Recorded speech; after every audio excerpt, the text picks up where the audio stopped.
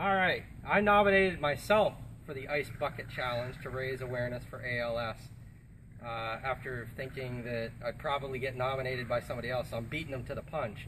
Um, but honestly, I don't normally give into this stuff, and I didn't think that it was really doing any good. But I saw a statistic on the news this morning that last year during this time period, only about $14,000 was raised for ALS awareness uh, as far as donations. This year, in this same time period, it's been over $160,000. So that kind of made me want to do something uh, with these three little guys. So I'm ready, but before I do, I got to call out three people that would probably have called me out. First off, Jeremy Haskins, uh, Andrea Gagne, and Liam Carnes.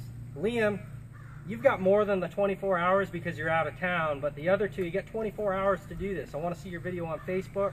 Do something creative and cool. Let's help uh, raise awareness for this uh, great cause. We'll go from there. All right, you guys ready? Yeah.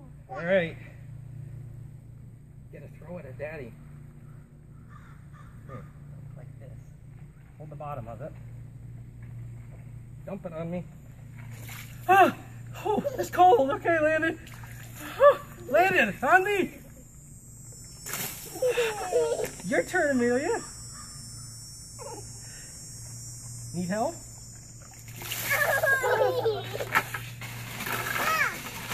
More?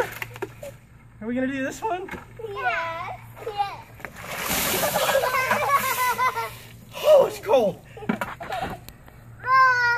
That's it. All right. So do your part, guys.